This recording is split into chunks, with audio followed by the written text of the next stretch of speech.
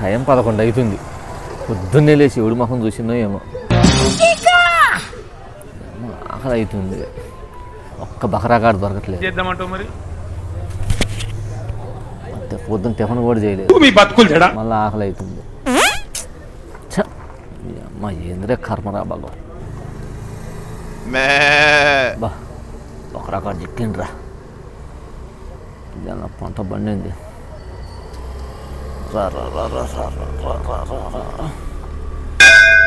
అన్నా నమస్తే అన్నా. ఏంటి?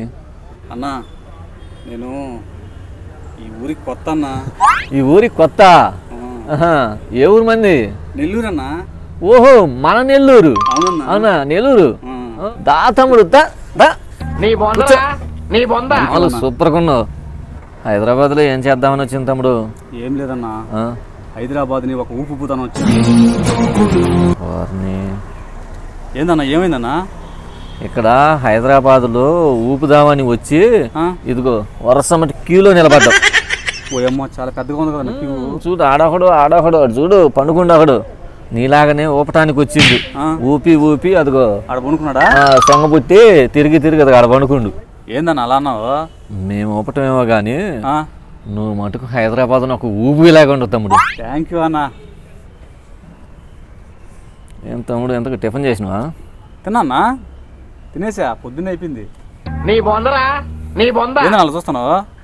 నువ్వు టిఫిన్ తిన్నావా తమ్ముడు అని అడిగా. తిన్నాను నేను తిన్నానో తినలేదు అడిగావా తమ్ముడు నువ్వు? ఒరే రాంబాబుగా నువ్వు చెప్పింది నిజమేరా. అటువంటి వాళ్ళు ఉన్నారు ఇక్కడ. టిఫిన్ అంట. మనం పెడతామా? చూపిస్తాం మన తడాక. ఆలోచిస్తున్నావు? ఏం లేదులే అన్న.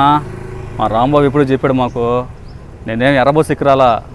హైదరాబాద్కి గవర్నమెంట్ ఆర్టీసీ బస్సు ఎక్కొచ్చా? మాకు చెప్పాడు అంతా మా వాడు. ఇక్కడ ఊపాలంటే కొంచెం ఖర్చు అయింది ఏమాత్రం ఖర్చు రెండు ఇడ్లీ ఆ? రెండు వడ కోడిగుడ్డు దోశ రెండు. మరి సాంబార్ ఇడ్లీ నువ్వు ఇప్పిస్తే రెండు. ప్రేమతో లాస్ట్లో బ్రూ కాఫీ ఫినిషింగ్ టచ్. అది నువ్వు ప్రేమతో.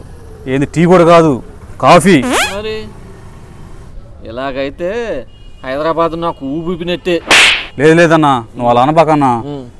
ఎలాగైనా సరే హైదరాబాద్ నువ్వు ఒక ఊపు ఊపాల్సిందే. అది కసి అంటే మామూలుగా లేవు అసలు నెల్లూరు కుర్రాడు అనిపించింది ఇప్పుడు. సూపర్ అదేనా ఉమ్. నీకు టిఫినే కదా. పదా. పద. దొరికిందిరే గొర్రె.